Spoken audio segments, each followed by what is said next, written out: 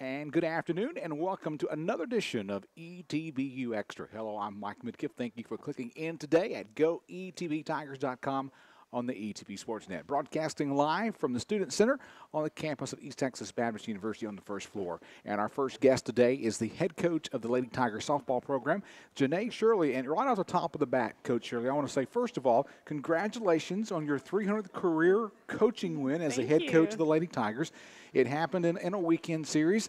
And uh, the first question I want to ask you about that 100 is a big number for a coach to get in a career. Do you remember your 100th career victory? I do. It was really um, strange how my 100 and 200 both happened. The wonder 100th win was uh, the win we got against Louisiana College to send us to the World Series. So that one is definitely one I remember for sure. That was a great year that year. It was a great year. That was a week. That was a series in Louisiana that was very difficult to win. It was. It you know that year we had played Louisiana College I think nine times and lost to them the first six I think and ended up winning when it counted and. Um, you know, for us, we got to really enjoy the World Series because the hard part was regionals. Getting through Louisiana College, they had one of the best programs and teams that I had ever seen um, them had. They probably at that time had the best team in the nation, and you know, we played really well that weekend and um, came out of it with two wins, so it was awesome. What about the 200th win? 200th win was actually in 2013, and it was when we beat uh, UT Tyler to win the conference championship. So that one was definitely a memorable one as well. Now, is the 300th win easy to remember? Because well, it just happened uh, And- uh, against UT Dallas when you won five to three in Game Two of that weekend series. What do you remember about that one?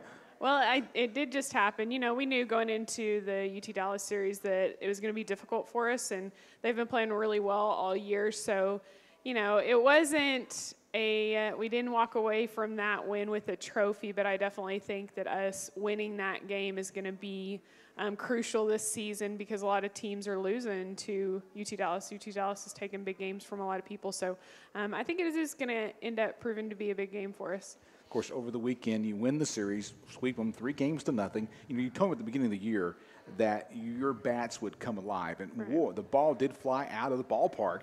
As Caitlin Hollings did with two home runs, Jamie Perez with a home run, and, and you expect that from your hitters, don't you? Especially Yeah. those hitters. Yeah, you know, one of the cool things about this team this year is that every week it's somebody different stepping up. And, you know, we do have a lot of kids in our lineup, pretty much from top to bottom, that can hit it out of the ballpark at any time. And so, you know, it was great. We actually, um, Jamie Perez got hurt in that series and didn't even play in that last game. And, you know, the, the kid that kind of stepped in for her came in and, um, you know, Alexis Padilla came in and had a great uh, series for us or a great game for us, and she hit a home run as well. So it's it's really awesome to see this team like pick each other up and um, you know adjust according to who's pitching against us. In game three of the series, you win six to three. Padilla had a home run in that ball game, and Shelby Erbeck got her first collegiate career home run. What's it like for a coach to see one of your athletes get their first collegiate home run? Yeah, it's really cool to see these athletes grow, you know, throughout their careers, and you know, to see them hit milestones and um, do things that they hadn't been able to do before, or come come along and grow, um, is really neat for us. You know, I've gotten to see some of those players, especially our junior class is really big this year, and so really seeing that group just grow as athletes and as people has really been fun for us. There's so many in that class, and they are part of, um, you know, a great to the 2014 year where we won super regionals and went to the World Series. So it's been neat to see that group grow and change, and it's just fun as a coach to see them hit milestones. Talking Lady Tiger soccer here on ETBU Extra, talking about the weekend series against UT Dallas. Now, this week, the American Southwest Conference named the pitcher of the week, Kelly Jo McClendon from ETBU. And, and I was kind of surprised as I read over uh, the stats from the weekend that you pitched her in all three ball games, and she won all three ball games, which is why she's the ASC pitcher of the week. What was the decision about that? Well, um, you know, Kelly Jo, first of all, like she threw a really good game the first game, and you know the conditions were a little different. The wind was blowing straight out, and Kelly Jo throws down, and so for us, it gave us an opportunity to keep the ball in the ballpark. Um, Rocky and the other pitchers throw a little bit different, and so that was part played a part into um, our decision there. But you know, after she had that first game and really neutralized what they did. You know, and then through that second game really well, it was like, you know, why not? I could have made the decision to keep her in there. and why not? Let's try her again the third game, and and she did a really good job. That's hard to um, go all season and not be asked to play to pitch three games in a row, and you know all of a sudden that's put on you. But she did a really good job of handling it. She handled it like a senior, and um, we were pleased with her performance for sure. So congratulations to Kelly Jo McClendon from Livingston, Texas. Uh, she had a, an ERA in those three ball games of 1, 1.75, and she held the batters to a 175 average. And of course, she has won her last six games in the circle. So congratulations to Kelly Jo McClendon being named this week's American Southwest Conference Pitcher of the Week. Before we talk about your upcoming series in Austin against Concordia, let's go back to the start of spring break for ETBU. Made a nice little trip uh, to to the east to Columbus, Georgia, to play in the NFCA leadoff classic, and you won the silver bracket. So pretty pretty good showing. Talk about the weekend. Yeah, it was um, a great opportunity. Anytime you get invited to the top 25 tournament, that's a great opportunity for your team and your program. And for us, you know, we we do face the same programs over and over, and so it's nice to see um, different teams and face different types of competition. But we knew we'd go out there and get tested and um, you know, each team that we played was a great program, and so we were pleased with how the girls performed. We actually did end up in the gold bracket, but because all the Texas teams did really well, they kind of switched, switched it up. So we didn't have to face the same teams that we're going to end up facing. Which would have been UT Tyler. Would have been UT Tyler and T- Texas Lutheran, and we actually would have had Texas Lutheran first game out, and whoever won that would have had UT Tyler. So, um, so it ended up great for us that they moved us brackets, and um, we got to face different people. We had a great show, and the kids did really really well. And, um, you know, we walked away from that helping ourselves for sure. Now, a trip like that and a weekend like that, how does that prepare your team, say, for the postseason? Because it's a different mentality when you go into a weekend like that facing top teams in the nation. It is. I mean, you have to you aren't preparing for the same team three times you're preparing for different teams. And you know something that we do in our program is we don't necessarily focus on who we're playing we focus on what we do. So it doesn't really change from game to game. And you know our girls did a great job of adjusting um, based off of what each pitcher was doing to them. And you know it showed with how successful we were that weekend. So we were we were pleased with it so after the series with UT Dallas this past weekend, the Lady Tigers are 18 and 4 on the year, 11 and 1 in American Southwest Conference play. Now they will travel to Austin, Texas to play Concordia uh, this Thursday and Friday. Talk about the series coming up against Concordia. Well, we're excited to go to that area. We have, um, you know, several, quite a few players from right around Concordia, and so it's just a cool opportunity to be able to go to their home and get a lot of people out to watch them play and stuff like that. So we're excited for the opportunity.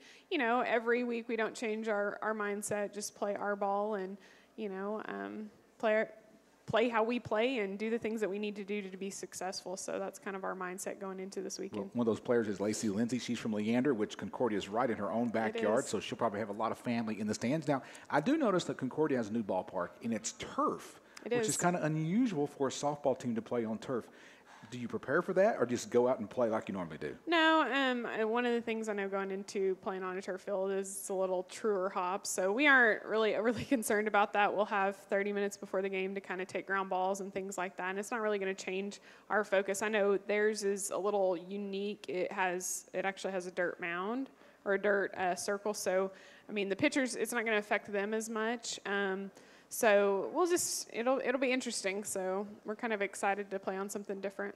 I'm kind of waiting to see how things play out. Of course, I want the Tigers to win all three games of the series coming up against Concordia. Well, Coach, just what's ahead for the Tiger softball program after you get through this series? Well, um, you know, we're at a like really pivotal point in our season right now. Um, the the girls have done a great job of every week, like continuing to get better on the things, and you know, we want to be playing our best ball in postseason, and so each week they are. They're continuing to get better. We do have a couple of big series. You know, every series is going to be big for us because we're trying to be one of those six teams that makes it to the conference tournament, and um, you know this week with Concordia, Concordia has taken games from quite a few people. And so going out of that and winning the series and trying to win all three games is going to be big for us. Next week, we have a, a big kind of long week. You know, we moved our Tyler series to next week so that we could go to the Leadoff Classic. And so I noticed the schedule is kind of tight. A lot of games in a week, it week is. and a half. It is. But I do think, you know, playing six games in three days over at the Leadoff Classic will help prepare us for what's coming up. And, you know, the next weekend we have um, Ozarks at home in our Strikeout Cancer Series. So um, we're excited for that, too. Before I let you go, I want to talk about the Strikeout Cancer Series and what that involves and the fundraising and where it goes. Well, what we have is uh, we've been doing this, I think this is our eighth year. Um, the softball team raises money to go into a fund here on campus. And what we do with that money is any faculty, staff, or student or family members of those three that are battling cancer, we actually are able to cut them a $500 check and just help them with expenses, travel, purchasing a wig, medical bills, things like that. Um, just anything that we can do to provide a little bit of relief for them in their hard time is kind of what we do. Um, each year they, they sell T-shirts or hats or different things like that. This year we're, we're selling T-shirts. Um, in the fall, the basketball team joined in and helped us out and you know raised two three thousand dollars in the fall through basketball. We've had other organizations here on campus help and put the money towards that. So um, just giving back to our ETB family and taking care of them as they're struggling is um, something that our team is passionate about and you know, they're working really hard to keep that fund alive and be able to help as many people as they possibly can. So I encourage folks who might watch this video later on YouTube, you see something pop up on Facebook or Twitter feed about helping out one of our students sell T-shirts. Hey, why don't you just tweet them back and say buy one, or just if you're on campus, walk up to them and say, "Hey, I'll take two T-shirts." That's what I did earlier when Jamie Perez walked yes. by, and glad to do that because of, of what the Strikeout Cancer Series does. It helps those here on our campus who are battling cancer. Coach, any final words you want to say before we let you go?